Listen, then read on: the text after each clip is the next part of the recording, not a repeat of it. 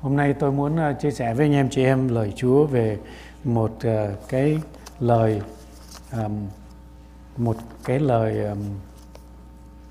ờ, một ẩn dụ mà Chúa Giêsu đã dùng ở trong Luca đoạn 18.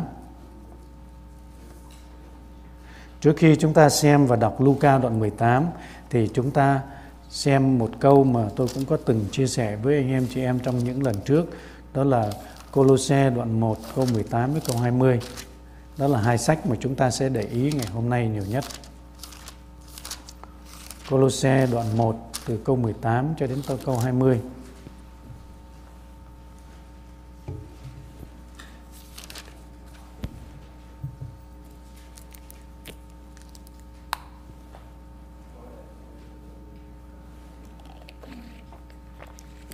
Chúng ta cùng à, đọc cái câu đó nha.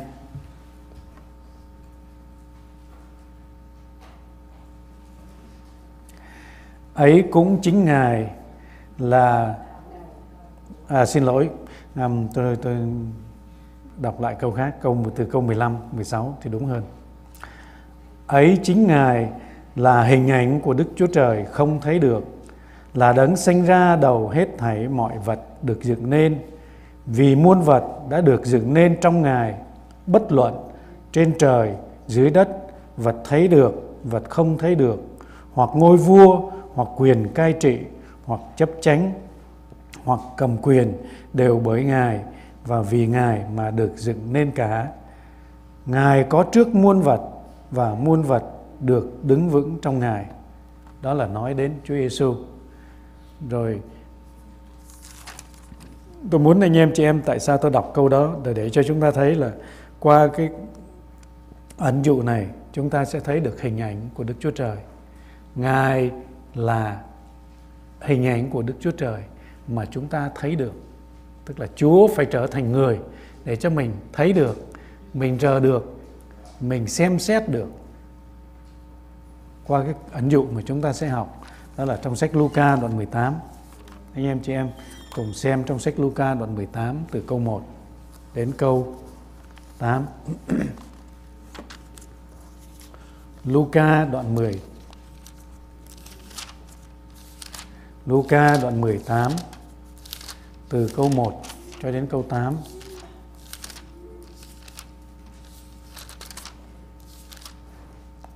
Đây là cái câu chuyện mà chúng ta đã nghe nhiều, chúng ta đã đọc nhiều, chúng ta đã thấy nhiều rồi. Nhưng mà ngày hôm nay tôi muốn anh em chị em chúng ta để tấm lòng chúng ta suy gẫm đến một khía cạnh khác. chúng ta cùng à, đứng lên chúng ta đọc lời Chúa trong cái đoạn kinh thánh này.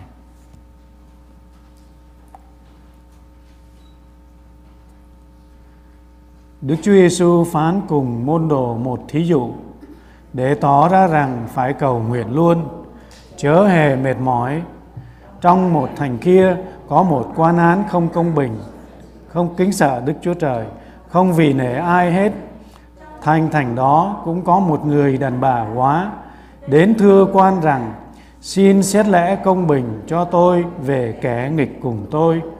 Quan ấy từ chối đã lâu nhưng kế đó người tự nghĩ rằng dầu ta không kính sợ Đức Chúa Trời, không vì nể ai hết, song vì người đàn bà quá này quấy rầy ta, ta sẽ xét lẽ công bình cho nó, để nó không tới luôn làm nhức đầu ta.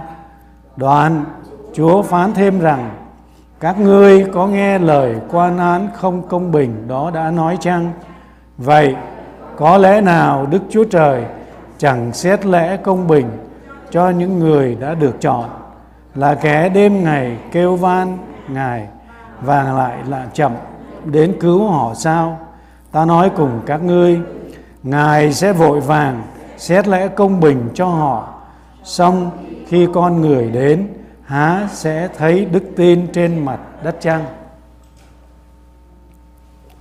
Đây là điều mà Ờ, chúng ta nhìn thấy mà Chúa Giêsu đã nói, Chúa ơi, chúng con cảm ơn Chúa, lời Ngài để lại cho chúng con mở lòng chúng con bởi thần linh Ngài, mở tai tất cả anh em chị em chúng con và mở môi miệng con nói những lời ích lợi cho dân sự Ngài con cảm ơn Chúa, con cầu nguyện trong danh Đức Chúa Giêsu Christ. Amen. Anh em chị em chúng ta cùng an tọa. Chúng ta để ý nè.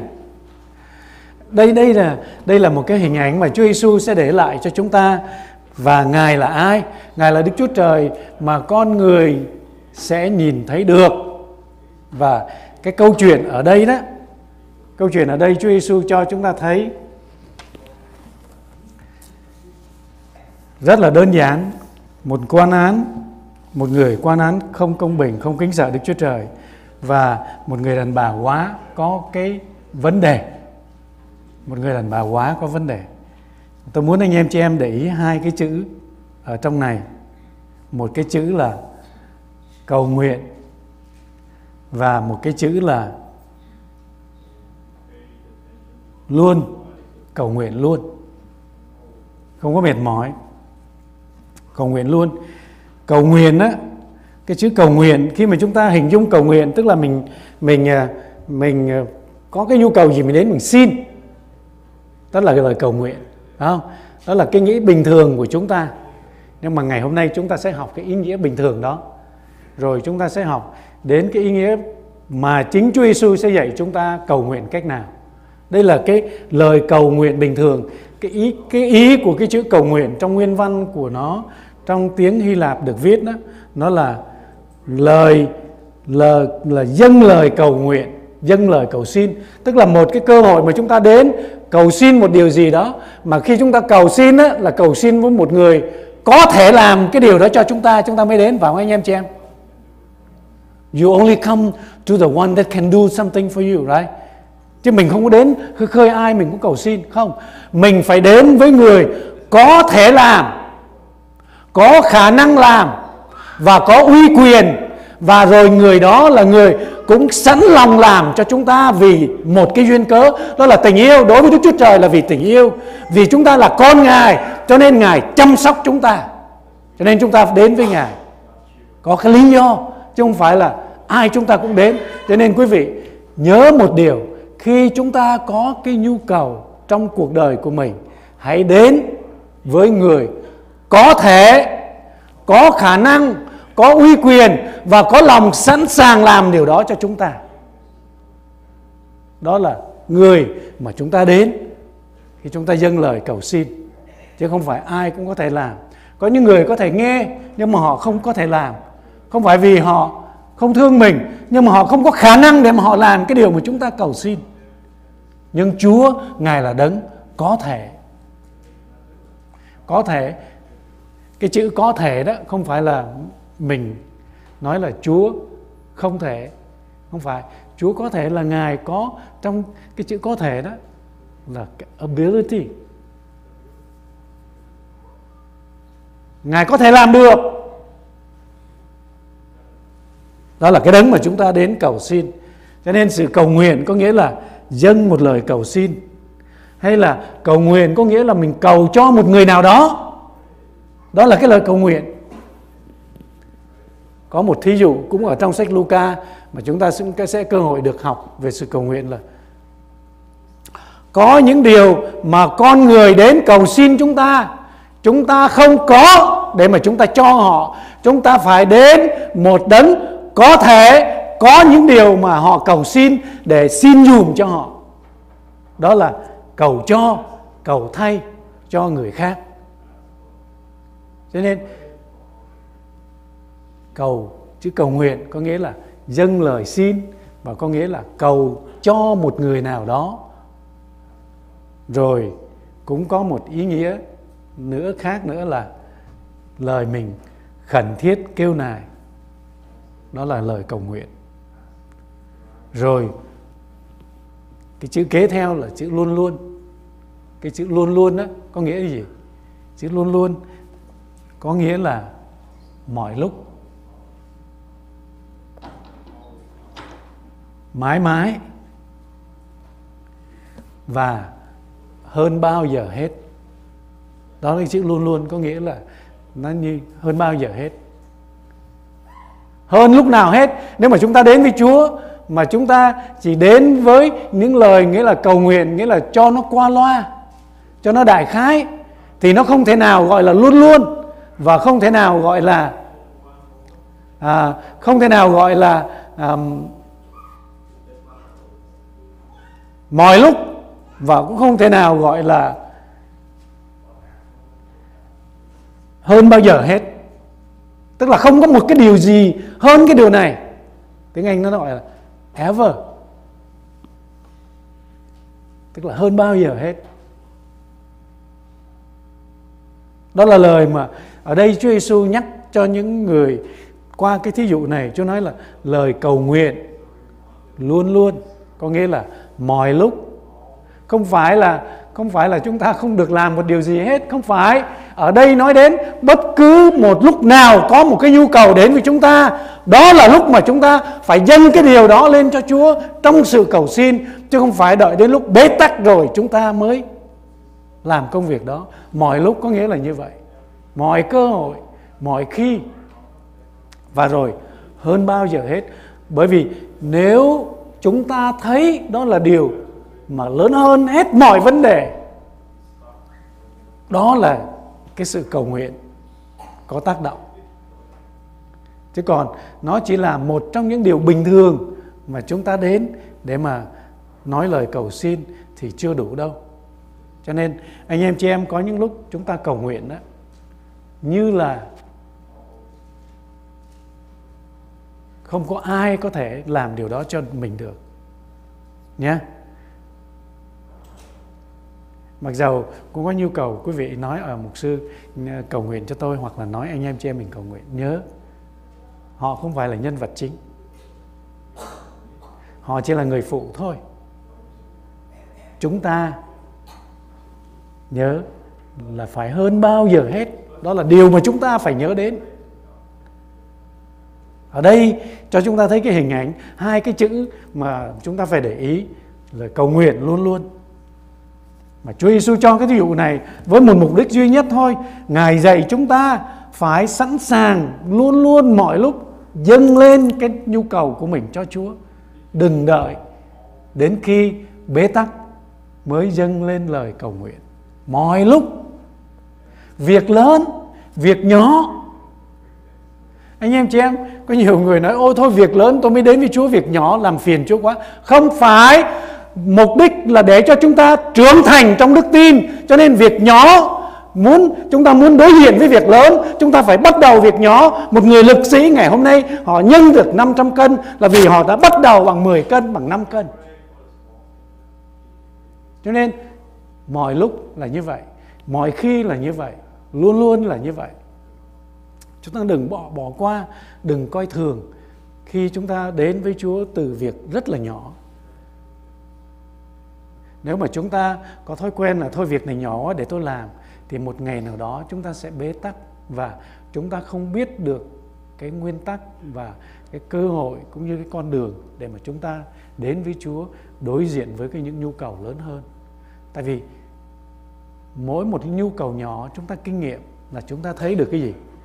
Chúng ta thấy được quyền năng của Chúa. Chúng ta thấy được sự chăm sóc của Chúa. Chúa quan tâm đến những việc thật nhỏ trong cuộc đời của mình. Không phải là Chúa chỉ quan tâm đến việc lớn để cho mình thấy tình yêu của Chúa như thế nào, chi tiết của Chúa, chăm sóc cuộc đời cho chúng ta như thế nào, để làm gì, để chúng ta vững mạnh, để mà khi có những vấn đề lớn hơn, chúng ta dàn dĩ mà đến với Chúa, vì chúng ta đã kinh nghiệm quyền năng của Ngài trong những việc nhỏ này nếu mà Chúa để ý đến việc nhỏ, thì anh em chị em ơi, việc lớn Ngài không quên chúng ta đâu. Nhớ điều đó. Cho nên, tôi khích lệ mọi người thực tập từ bất cứ việc nhỏ gì trong nhà, trong gia đình của mình, trong nhà của mình.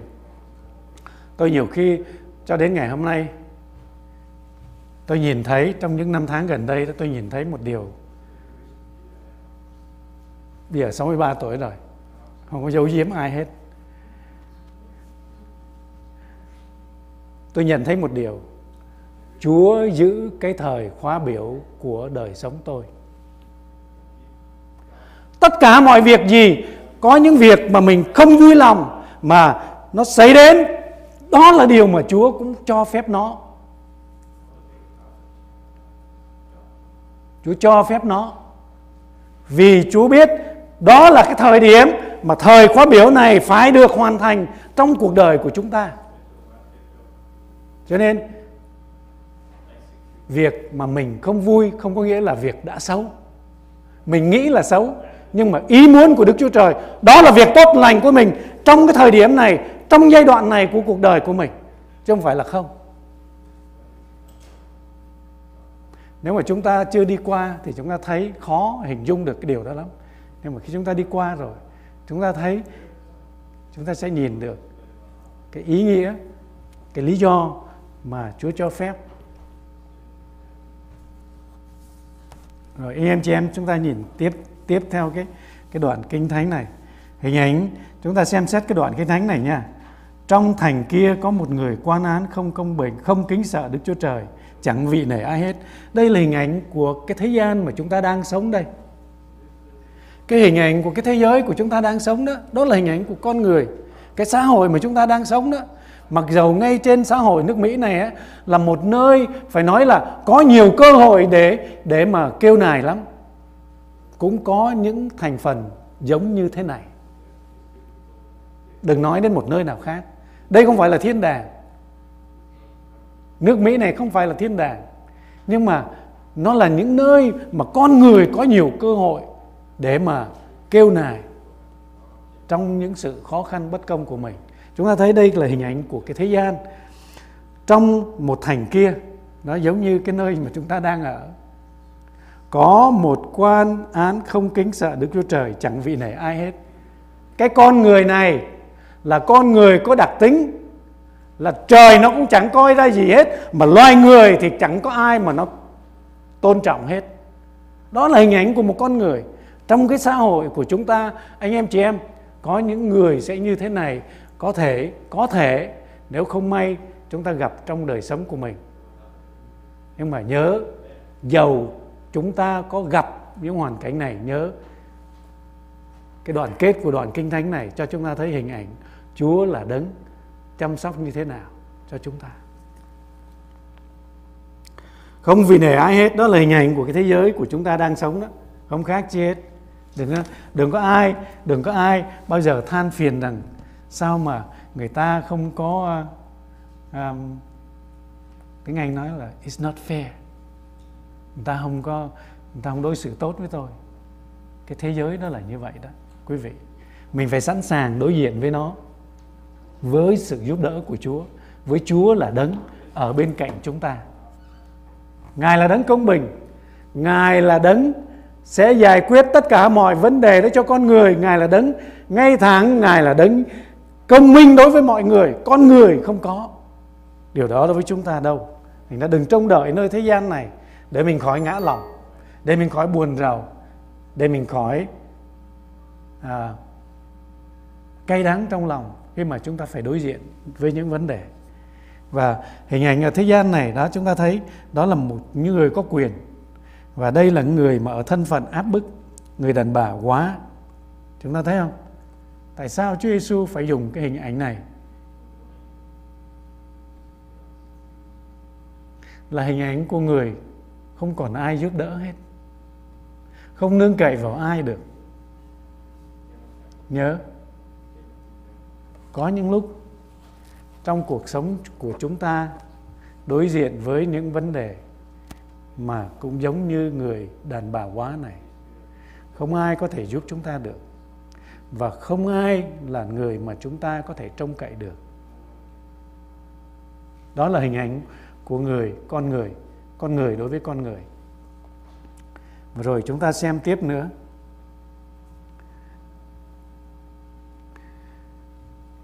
Người đàn bà này có vấn đề. Vấn đề đó là bị áp bức và người đàn bà này có một cái nhu cầu là xin cứu xét, giải quyết cái vấn đề mà bị áp bức này. Rồi chúng ta xem đến cái cách giải quyết của những con người. Chúng ta thấy là người đàn bà này. Xin xét lẽ công bình cho tôi về kẻ nghịch tôi đó là điều người đàn bà này mạnh mẽ đến. Mặc dầu không có ai hết, đây là một người đàn bà quá, không ai giúp đỡ mình. Nhưng mà người này mạnh mẽ đến. Tôi hỏi quý vị nè, cái ông quan này này, không có kính sợ Đức Chúa Trời, không có vì nể ai hết. Tôi hỏi quý vị, ông quan này ở trong cái thành đã lâu rồi. Người đàn bà đó có nghe tiếng của cái ông quan này không? Ngo chứ, chắc chắn là nghe chứ. Tại vì ở đây không thuật, nhưng mà mình suy tưởng là mình thấy người đàn bà này ở trong cái thành đó rồi. Người đàn bà biết tiếng đây là một con người gian ác rồi, chứ không phải là con người đàng hoàng gì. Mặc dầu làm quan, không kính sợ đức chúa trời, không có không có lòng kính sợ đức chúa trời, mà không kính sợ đức chúa trời đó, người ta có thể làm điều gì cũng được hết. Quý vị thấy những kẻ độc tài trên thế giới không? Họ làm những điều mà khi mình đọc đến, mình không tưởng được. Vì sao? Vì họ không có lòng kính sợ đức chúa trời. Mà rồi, không có nể ai hết. Thế thì, không nể ai có nghĩa là người ngang hàng cũng không nể, mà người lớn hơn cũng không nể. Mà người đàn bà này là một người đàn bà không có cái gì hết. Thì có cái gì để cho ông quan này ông sợ? Thấy không? Chúng ta suy nghĩ coi. Có cái gì để cho ông quan gian ác này mà sợ cái người đàn bà này? Nể người đàn bà này, chẳng có gì hết. Mặc dầu biết như vậy, người đàn bà bị áp bức này vẫn đến kêu sự giải quyết công bình cho mình. Thấy không? Chúng ta để ý, chúng ta phải suy gẫm mình mới thấy được cái hình ảnh. Xin xét lẽ công bình cho tôi về kẻ nghịch cùng tôi, quan ấy từ chối đã lâu đó, ông này ông nói không. Bài đến bài đến mà nói không. Tôi nghĩ ông không nói giống như tôi nói đâu. Ông không có nể ai hết thì chắc ông nói nặng lắm. Ông đuổi đi đi. Đừng có tới làm quấy rầy. Rồi, chúng ta xem cái hình ảnh người đàn bà này. Người đàn bà này không bỏ cuộc. Người đàn bà này cũng không sợ ông quan này nữa. Vì sao? Vì đây là một người biết được cái điều mình cầu xin là điều phải lẽ. Anh em, chị em ơi, chúng ta phải biết cái điều mình cầu xin là điều phải. Đó là điều rất là quan trọng.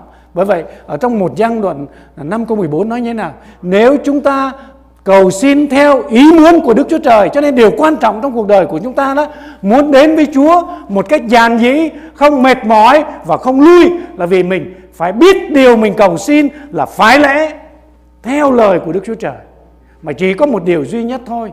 Chỉ có một cách duy nhất thôi mà anh em chị em biết được điều đó là đến với lời Chúa và cầu xin thần linh của Đức Chúa Trời cho mình đón nhận cái lời mà chúng ta đọc và cái điều mà chúng ta muốn dâng lên Chúa. Đó là điều thuộc về chúng ta. Tức là không những chúng ta đọc không thôi, là lời là lời lời được viết xuống chữ đó. Nhưng mà chúng ta phải đón nhận nó là điều đó cho chính mình. Thì chúng ta mới, giống như lời hứa đó, lời hứa của Chúa ở trong Kinh Thánh này nếu mà chúng ta chỉ đọc, thì chúng ta thấy ở đó là lời hứa cho dân Do Thái, cho môn đồ ngày xưa mấy người thời thế kỷ thứ thứ nhất.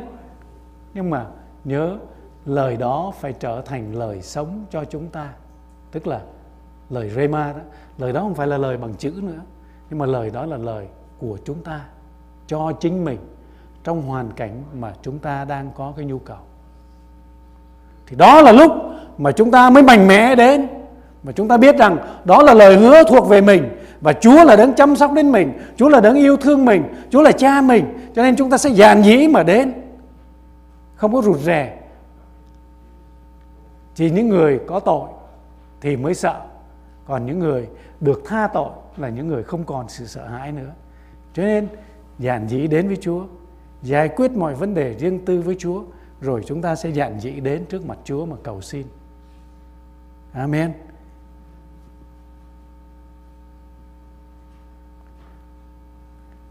Nếu mà chúng ta làm sai, chúng ta thấy cảnh sát, chúng ta sợ. Còn nếu chúng ta không làm sai, chúng ta thấy cảnh sát, chúng ta cười vui vẻ nói chuyện với họ. Đối với Chúa cũng vậy. Tội lỗi của chúng ta được tha, chúng ta sẽ đến với Chúa một cách dạn dĩ. Bởi vậy Chúa nói là theo ý muốn Đức Chúa Trời giản dĩ mà đến với Chúa trong lời cầu xin. Xin xét lẽ công bình cho tôi quan ấy đã từ chối đã lâu. Đó là cái việc mà ông quan đó ông làm. Nếu mà người đàn bà biết điều mình cầu xin là phải lẽ. Thấy không? Đó, đó là cái chìa khóa. Nếu chúng ta biết đó là điều phải lẽ thì mình không bao giờ bỏ cuộc. bởi vì đây là vấn đề tôi cần phải được giải quyết đây là điều chính trực đây là điều công bình. Đây là điều mà lời Chúa đã hứa. Thấy không? Anh em chị em thấy không? Đây là lời Chúa đã hứa. Nói, Chúa ơi, chúng ta được quyền nhắc Chúa nha. Nhắc Chúa. Tại vì Chúa nói, ngài cho chúng ta làm cơ hội là kẻ nhắc nhở Đức Chúa Trời. Nhắc Chúa. Nhắc Chúa chứ không phải ra lệnh cho Chúa. Nhiều khi chúng ta lẫn lộn trong lời cầu nguyện. Nếu không cẩn thận chúng ta nghe cái lời cầu nguyện, chúng ta có lắm lúc chúng ta ra lệnh cho Chúa đó. Không, chúng ta được quyền nhắc Chúa làm sao nhắc Chúa được? Phải biết cái lời Chúa đã hứa thì mới nhắc. Nói, Chúa ơi, đây là lời Chúa đã hứa cho chúng con, và con tin đó là lời mà Chúa nói cho con. Cho nên con đến con nhắc Chúa đây. Lạy Chúa, xin hãy làm thành lời mà Chúa đã hứa cho con, cho dân sự của Ngài. Tôi không có ở vần quý vị mỗi ngày để nghe lời cầu nguyện quý vị đâu để nhắc cho quý vị biết lời nào là chúng ta đang ra lệnh cho Chúa, lời nào chúng ta xin Chúa, lời nào chúng ta nhắc Chúa. Cho nên bổn phận của chúng ta xin ráng lắng nghe cái lời mình nói ra khỏi môi miệng mình để xem coi mình có ra lệnh cho Chúa hay không. Không, nhớ chúng ta không có thẩm quyền đó. Chúng ta chỉ có quyền cầu xin mà cái gì mà Chúa đã giao cho mình ấy, thì đừng có giao lại cho Chúa rồi nói Chúa ơi làm cái này cho con. Không có. Chúa nói là hãy nhân danh ta mà đuổi quỷ thì làm công việc đó chứ đừng có nói Chúa ơi đuổi nó đi. Không. Tức là chúng ta sai Chúa đó. Chúng ta không làm công việc của chúng ta. Đó mình phải để ý. Chứ không phải mình tôn trọng Chúa đâu. Tại vì Chúa đã giao cái việc đó cho mình mà bây giờ mình không làm mình bảo Chúa làm. Chúng ta để ý không? Chúng ta thường làm điều đó lắm. Ở đây tiếp theo chúng ta thấy này giàu không kính sợ đó đã lâu lắm rồi. Nhưng kế đó quan này tự nghĩ rằng giàu ta không kính sợ đức chúa trời không vì nể ai hết. Nghĩa là coi trời bằng vung đó kiểu đó kiểu đó, đó coi trời bằng vung đó. Không vì nể ai hết. Xong người đàn bà này khuấy rầy ta ta sẽ xét lẽ công bình cho nó.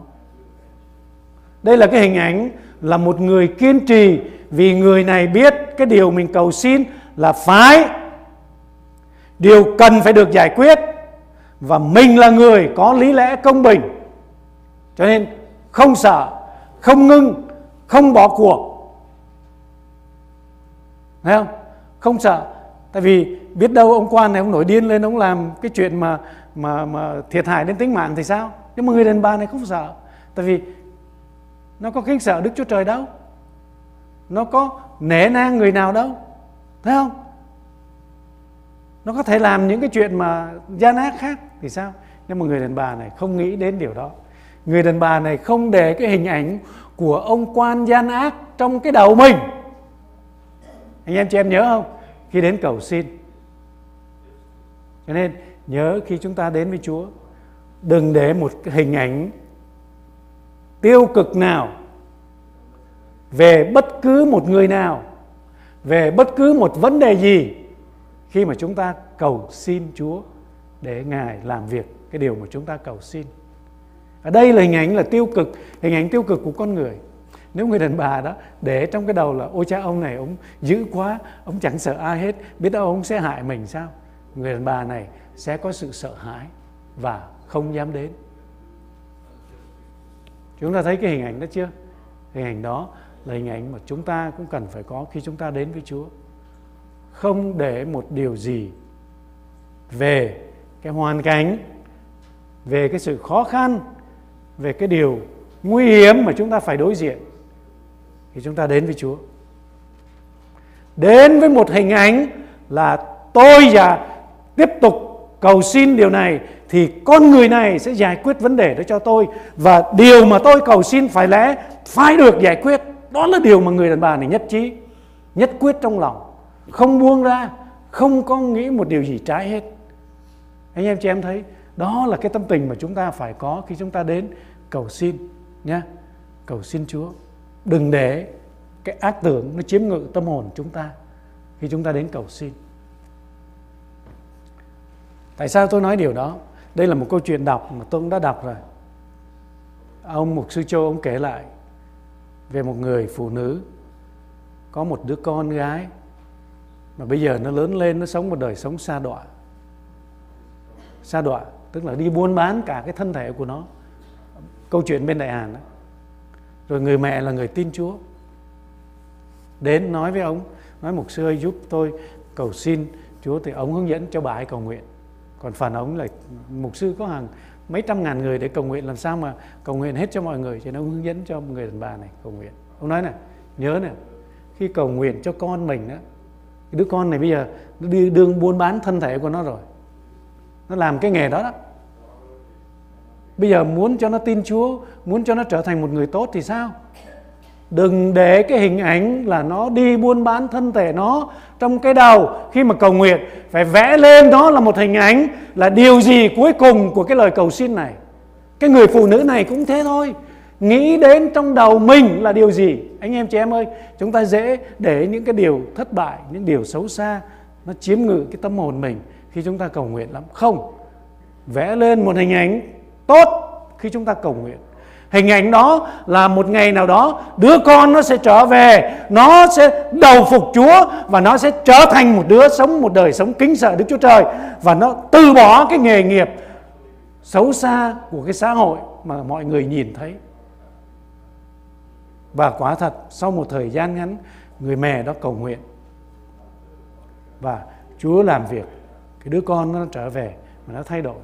Anh em chị em, đây là cái nguyên tắc mà chúng ta cầu xin. Tôi hỏi quý vị nè, người đàn bà này, nếu mà người này cầu xin đến với ông quan gian ác này nè, mà cứ nghĩ đến là không biết là ông có đập mình chết hay không không biết là ông có làm cái gì hại mình không, thì làm sao người này có thể tiếp tục được? Nhưng mà người đàn bà này kiên trì, vì hình ảnh của người đàn bà này có, đó là tôi sẽ được giải quyết vì đây là điều phải lẽ và điều chính trực mà tôi có khi tôi đến cầu xin.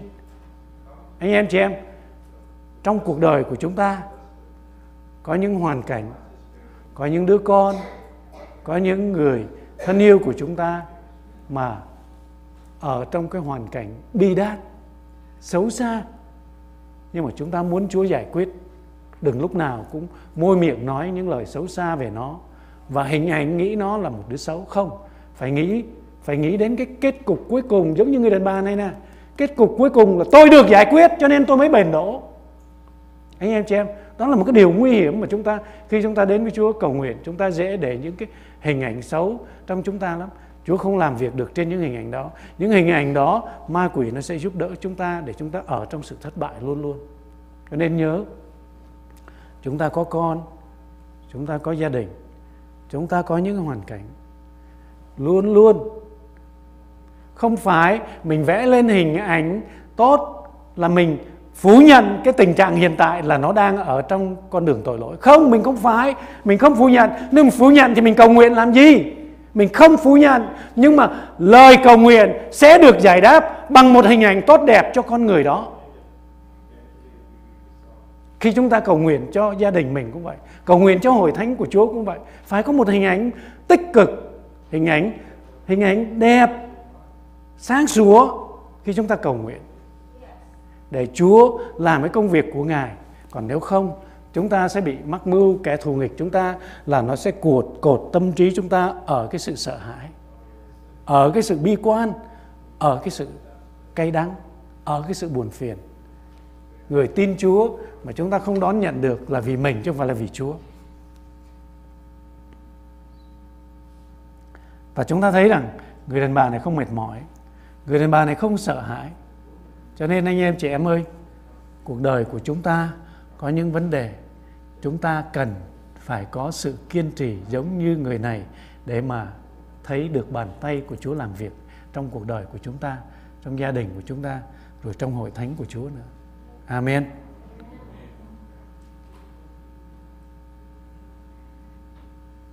Nhưng mà chúng ta để ý nè, là một con người xấu xa như cái ông quan này, ông cũng có lúc cũng còn biết nghĩ Ông nói, giàu ta chẳng kính sợ Đức Chúa Trời. Không nể ai hết. Nhưng mà người này bền bỉ quá, Người này kiên nhẫn quá, Thôi phải giải quyết vấn đề này Cho nó để nó khỏi quấy rầy ta nữa. Ông, Cái lý do mà ông giải quyết là lý do ích kỷ.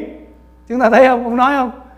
Để nó khỏi làm mình nhức đầu nữa, Tức là lý do ích kỷ. Ông nghĩ đến cái quyền lợi riêng của ông đừng để nó làm phiền toái mình nữa. Thôi giải quyết cho nó xong đi, chứ ông không chẳng có nhân đức gì hết. Tại vì đây là con người không kính sợ đức chúa trời và con người chẳng có vị nể ai hết. Cho nên không có lòng nhân gì ở trong cái chỗ này của con người này hết. Nhưng mà vì cái lòng ích kỷ, cho nên ông còn nghĩ đến là phải giải quyết vấn đề cho người đàn bà này. Cho nên anh em chị em, là một con người xấu xa ở giữa thế gian này, mà khi đối diện với một người bền đỗ, bền bỉ trong cái nhu cầu chính đáng của mình vẫn phải giải quyết. Vẫn phải giải quyết. Đó là hình ảnh lòng ích kỷ mà giải quyết để khỏi bị quấy rầy, khỏi bị nhức đầu. Nhưng mà Chúa nhắc cho chúng ta một hình ảnh này. Anh em chị em, kế tiếp theo Chúa nói, đoạn Chúa Giêsu đoạn Chúa phán thêm rằng, các ngươi có nghe lời quan án công không công bình, đó đã nói chăng? Đó cái người không công bình đã nói cái gì?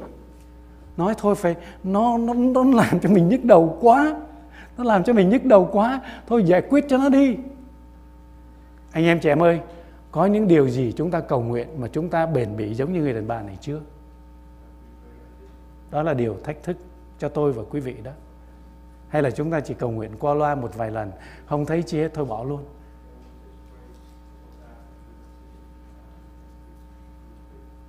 Chúa không như cái người quan án này.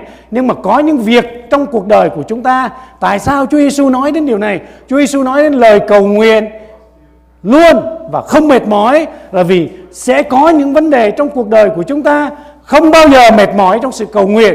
Cho đến khi nào chúng ta kinh nghiệm được Chúa, cảm nhận bởi thần linh của Đức Chúa Trời trong lòng chúng ta là Chúa đã nhậm lời cầu xin mình. Còn cái thời điểm sau khi Chúa nhậm lời rồi sẽ có thời điểm nó sẽ đến với chúng ta. Chứ không phải là nhậm cái là hô biến cái là nó đang đứng ở trước mặt mình. Không phải như vậy. Nhậm, tức là mình được cái ấn chứng sự bình an đến trong tâm hồn này. Rồi điều đó sẽ đến theo cái thời điểm tốt nhất mà cuộc đời chúng ta sẽ đón nhận.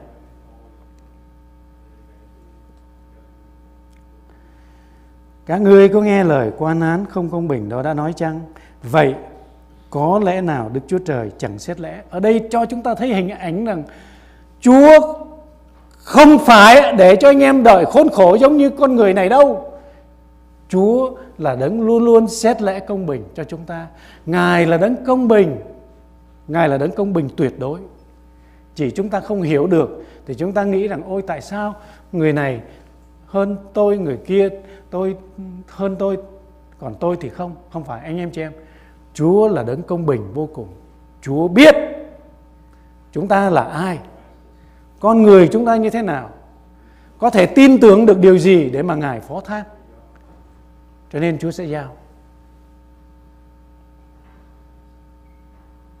Anh em chị em tại sao cái tài sản giàu có trên thế gian này Chúa không giao cho người nào khác nhất là nước Mỹ này mà Chúa lại giao cho Bill Gates Chúa lại giao cho uh, Warren Buffett?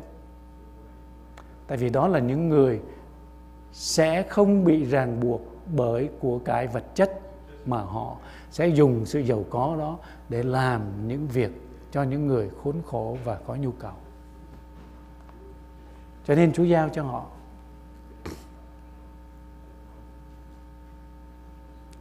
Tôi không nói họ là con người perfect ở thế gian này. Tôi không nói điều đó. Nên đừng có lầm lẫn. Nhưng mà Chúa biết ai là người Chúa giao cho. Vậy lẽ nào Đức Chúa Trời chẳng xét lẽ công bình cho người đã được chọn? Tôi, quý vị, nhớ chúng ta là người được chọn. Được chọn không phải là vì mình tốt đẹp hơn mọi người thế gian không. Vì chúng ta nhận biết mình là kẻ có tội. Xin Chúa tha thứ thì chúng ta được kể vào hàng là kẻ được chọn nha. Chúa nói với người Do Thái đó. Chúa nói với người Do Thái là ta đem các ngươi về không phải là vì các ngươi, nhưng mà vì danh ta đã bị sỉ nhục khi nơi nào các ngươi đi đến. Vì các dân ngoại sẽ nói rằng, ô, đó là dân được chuộc mà bây giờ nó không còn quốc gia nữa. Mỗi một lần điều đó nói đến là danh của Chúa bị người ta giễu cợt. Vì điều đó, cho nên Chúa nói, cho nên ta đem các ngươi trở về nơi mà tổ phụ các ngươi đã ở ngày hôm nay tôi với quý vị cũng vậy. Chúa ban cho chúng ta, chẳng phải chúa chọn mình, chẳng phải vì mình ngon hơn những người khác ở thế gian này đâu. Đừng có để điều đó làm cho mình lên lòng kiêu ngạo, mà phải biết rằng chúa là đấng chọn chúng ta vì ngài yêu thương chúng ta, vì chúng ta là kẻ nhận biết mình là kẻ có tội. Chỉ có thế thôi là chúng ta được chọn. Tin Chúa Giêsu mà được chọn thì Chúa nói, Đức Chúa Trời lẽ nào chẳng xét lẽ công bình cho kẻ được chọn, là kẻ đêm ngày cầu xin Ngài. Tức là ở đây cũng nói cho chúng ta biết đêm ngày. Nếu mà chúng ta có một nhu cầu, mà nhu cầu đó phải lẽ, mà nhu cầu đó chính đáng, chúng ta sẽ làm những việc như người đàn bà này mà đối với người quan án xấu xa còn phải giải quyết vấn đề đó. Thì huống hồ Đức Chúa Trời, Ngài không phải là cái ông quan án xấu xa đó. Ngài động lòng thương xót chúng ta, Ngài yêu thương chúng ta. Đến nỗi Kinh Thánh nói, Ngài ban con Ngài đến, thì Ngài, Kinh Thánh nói rằng, thì chẳng có điều gì mà Ngài tiếc nữa cho chúng ta. Ở trong Roma đoạn 8 câu 32 Ngài chẳng tiếc chính con mình, thì còn điều gì mà Chúa tiếc đối với chúng ta? Đức Chúa Giêsu là món quà lớn nhất mà Chúa ban cho chúng ta rồi. Còn điều gì ở trần thế này cần cho cái nhu cầu cuộc đời chúng ta tạm bỡ ở thế gian này, để chúng ta đi hết cái hành trình ở thế gian này mà Chúa tiếc đối với chúng ta đâu. Nhưng mà phần của chúng ta phải biết mình là ai để đi với Chúa và biết Chúa là ai để tôn trọng Ngài, để giản dĩ mà đến với Chúa trong sự cầu xin. Amen. Ta nói cùng các ngươi rồi Chúa nói là, mà lại chậm chạp, Chúa không có chậm chạp đến cứu chúng ta đâu. Chúa lẹ làng lắm. Mà Chúa là đấng đúng giờ, Mà tôi thấy đúng giờ. Tôi thấy Chúa rất là đúng giờ. Mọi việc Chúa rất là đúng giờ. Rất là đúng giờ. Bởi vậy tôi nói Chúa có thời, khóa biểu Cho chúng ta Nếu chúng ta đặt Chúa hướng dẫn cuộc đời của chúng ta. Chúa có thời, khóa biểu. Anh em chị em còn cái điều gì nữa để chúng ta chần chờ mà không đặt Chúa trên hết trong cuộc đời của mình? Để chính Ngài là đấng sắp đặt. Điều đó không có nghĩa là chúng ta không phải làm chi hết. Chúa sắp đặt thời có biểu. Chúng ta cứ theo thứ tự đó chúng ta làm. Luôn luôn nhớ đến hình ảnh của cái đấng công bình. Chúa là đấng công bình tuyệt đối khi chúng ta đến cầu xin Ngài. Có những lúc trong cuộc đời của chúng ta cũng giống như hình ảnh của người này thôi. Có những lỗi bất công. Có những nỗi bất công mà chúng ta cần Chúa là đấng. Chúng ta đến kêu cứu, nha. Có những cái con người giúp được. Có những cái con người không thể giúp được. Mà ngay cả những cái con người giúp được, hãy đến với Chúa để Chúa sắp đặt mọi điều đó cho chúng ta. Amen. Anh em chị em, chúng ta cùng đứng lên chúng ta hướng lòng về Chúa. Ta cầu nguyện. Điều mà tôi muốn anh em để lại trong tấm lòng của chúng ta ngày hôm nay, hãy nhớ nè. Chúa là đấng. Chúa là đấng công bình. Chúa vội vàng nghe lời cầu xin của chúng ta. Và khi cầu nguyện, nhớ phải có một hình ảnh là khi cầu xin một điều gì đó phải có hình ảnh này nè đừng có hình ảnh về vấn đề đừng có hình ảnh về môi trường nhưng mà hình ảnh là cuối cùng là điều đó được giải quyết theo ý muốn tốt lành của Đức Chúa Trời. Amen. Thì chúng ta mới mạnh mẽ được. Thì chúng ta mới không bi quan, không ngã lòng, không buồn phiền, trong cuộc đời của chúng ta. Thì chúng ta đến với Chúa. Cho nên tôi khích lệ anh em chị em nhớ, quên hết những gì tôi nói, nhớ mấy điều đó thôi. Không sao hết. Đức Chúa Trời là đấng công bình tuyệt đối. Chúa yêu thương và vội vàng chăm sóc đời sống chúng ta. Khi cầu nguyện bất cứ một vấn đề gì, hãy có một hình ảnh thật đẹp về cái kết quả cuối cùng. Dầu ngày hôm nay chúng ta chưa thấy, ngày mai chưa thấy, nhưng mà chúng ta bền đỗ thì đó là điều chúng ta sẽ đón nhận được amen cha ơi, chúng con cảm tạ ơn cha tình yêu ngài thật là cao cả và tuyệt vời đối với chúng con để chúa yêu dấu chúng con Cảm ơn Chúa cho chúng con một hình ảnh tình yêu của Ngài. Ngài là đấng công bình tuyệt đối. Ngài là đấng vội vàng chăm sóc đến chúng con. Xin Chúa thăm viếng đến. Xin Chúa đụng chạm đến mỗi lòng anh em chị em chúng con. Cho chúng con biết được Chúa là ai. Chúng con là kẻ đã được lựa chọn qua máu huyết của Chúa Giêsu. Cho chúng con một lòng dạn dĩ mạnh mẽ mà đến với Chúa trong sự cầu xin, trong sự cầu thay và trong lúc dâng lời chúng con cầu xin lên cho Chúa. Chúa ở cùng anh em chị em chúng con. Chúc phước cho chúng con trong mọi cơ hội mà chúng con có đến với Ngài. Thì Chúa một lần nữa buổi sáng, buổi chiều hôm nay chúng con đến trong bàn tiệc của Chúa để chúng con dự tiệc thánh này.